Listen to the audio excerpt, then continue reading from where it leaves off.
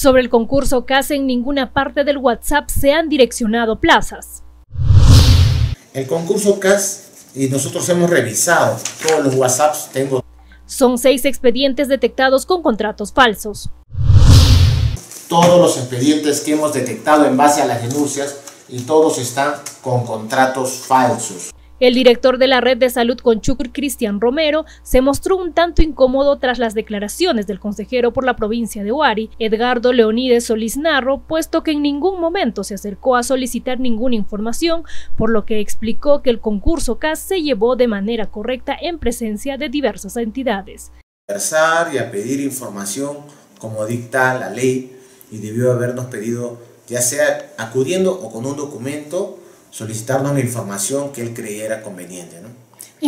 El concurso CAS, y nosotros hemos revisado todos los WhatsApps, tengo todos y los he leído varias veces, en ninguna parte de los WhatsApps se habla que se está direccionando plazas.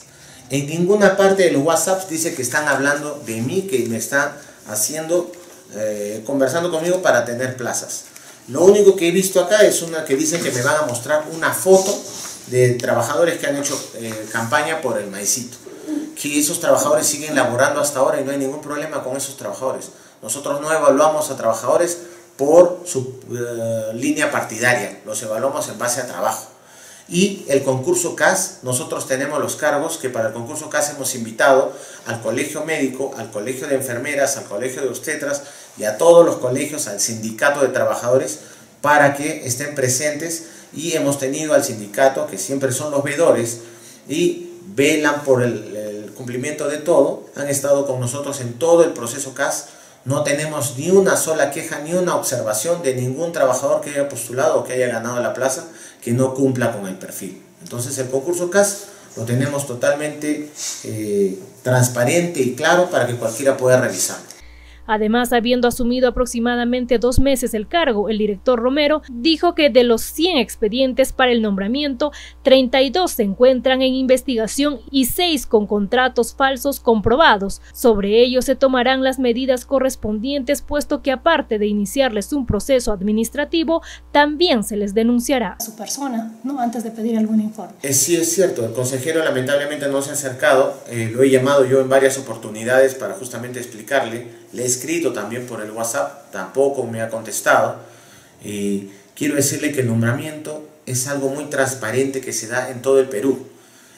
Tienes que tener una sola condición, haber estado trabajando en septiembre del 2013. Si tú has estado trabajando en, septiembre del 2013, entras al nombramiento y nadie te puede sacar. Y si no has estado trabajando en septiembre del 2013, no puedes entrar al nombramiento. Así de simple.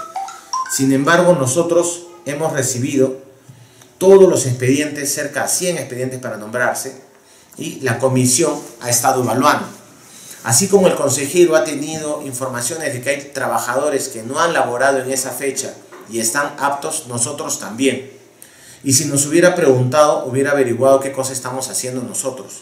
Son dos meses recién que asume usted y hay resultados. Así es. Nosotros acá está, puede firmarlo, todos los expedientes que hemos detectado en base a las denuncias y todos están con contratos falsos. ¿ya?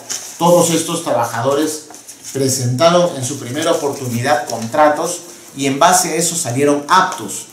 Pero luego a las denuncias hemos hecho la verificación uno por uno y hemos detectado que los contratos son falsos.